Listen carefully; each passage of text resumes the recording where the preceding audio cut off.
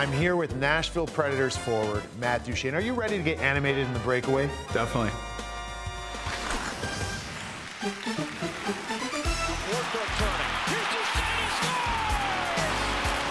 Duchene's first goal in a gold jersey. It's official now.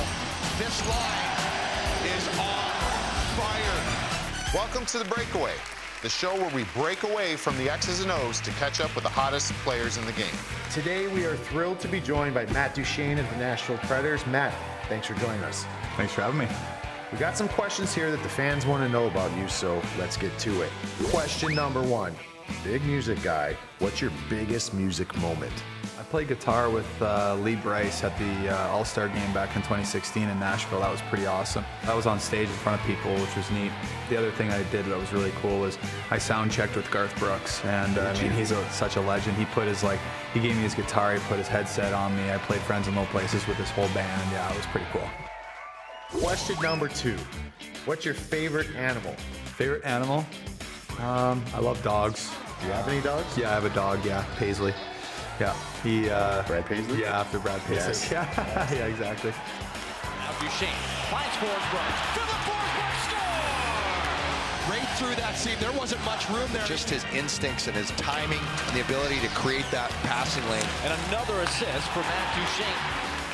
Question number three Who's your favorite player growing up? Joe Sakic. That's kind of ironic, right? And Then you get to play. Absolutely. I, it's cool to have had such a great relationship with him over the years and have played for him. Finally, to our fans in Colorado, we are proud to select from the Brampton Battalion of the Ontario Hockey League, Matt Duchene. We're up cheering for Joe Sakic and Patrick Roy. And Joe Sakic looking on in Denver tonight. What was the one, like one thing that he did better than you that you wish you had? Oh, the shot. I mean, the guy's one of the best goal scorers ever. Great release, yeah, right? unbelievable. I missed him by a year. My first game in the league was his jersey retirement, so that was also a pretty uh, awesome welcome to the NHL uh, kind of thing.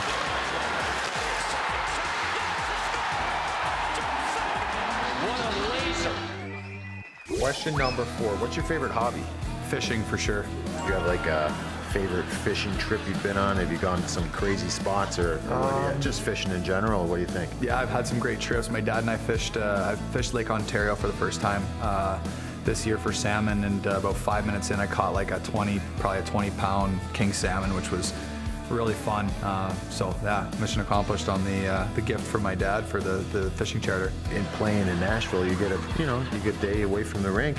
You're in a perfect spot right there. Definitely, yeah. There's some uh, good bass and catfish fishing down there, so I'll be doing that for sure.